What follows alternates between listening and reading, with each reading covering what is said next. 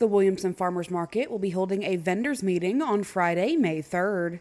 They should attend this meeting because that's where we'll be able to give them a, a market vendor book.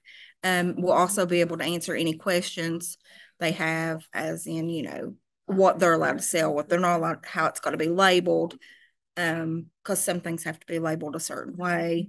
Do you worry about having enough money to last throughout retirement? Give Reed Potter at Raymond James a call. Reed has 26 years' experience helping folks enjoy their best life in their retirement years. Current vendors and those wishing to become vendors are encouraged to attend this meeting as topics like safety precautions, vendor rent, and other important pieces of information will be discussed. Anyone with handmade artisan goods or homegrown produce are welcome to join the farmers market by attending the meeting. We really need vendors. I mean, I don't know how to even get that out there. Like we only have we have four four that we know always sell.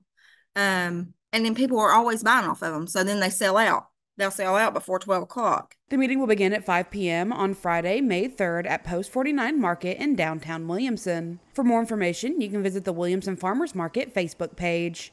For Mountaintop News, I'm Kelsey Fidel.